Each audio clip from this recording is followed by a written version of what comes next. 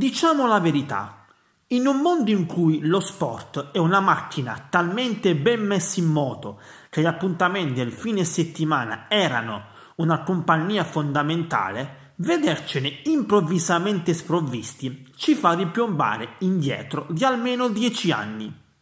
Soprattutto se il coronavirus ha interrotto una stagione nel momento più bello. Prendiamo il futsal femminile, per esempio, dove c'è una squadra, la Polisportiva Bitonto, quella del presidente Silvano Intini, che ci stava facendo sognare in grandissimo quel traguardo chiamato A2. E così, quando mancavano sei partite alla bandiera a scacchi, le Lioncelle vantavano 60 punti in cascina, 6 in meno delle Battistrada New Cup San Michele, che però ha una partita in più, e 3 in più dell'Altamura, terza in classifica.